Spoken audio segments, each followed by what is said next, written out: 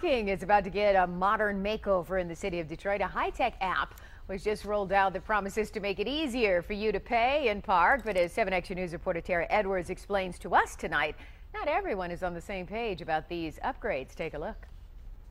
They're calling it an on-street parking overhaul, replacing about 3,000 parking meters with hundreds of new kiosks, and a new app called Park Detroit to help you fill up the meter when your time runs out. This means that the days of scrambling and fumbling for quarters at parking meters will soon be over.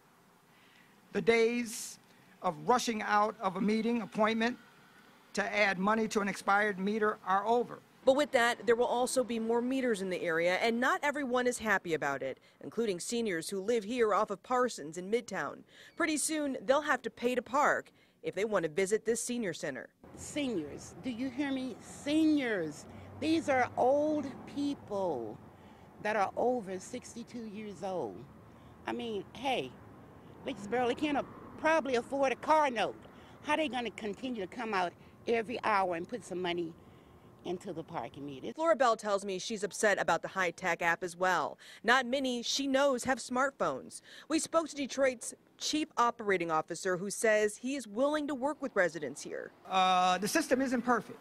But every time we found we have found out that we may be uh, hurting a business uh, with our meter system, then we're accommodating. I've heard this. I've been here forever, and they've been telling us that for years. And you know what?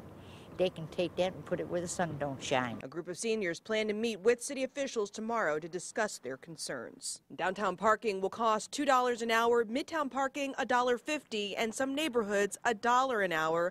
All meters should be up and running in a few weeks. In Detroit, Tara Edwards, 7 Action News.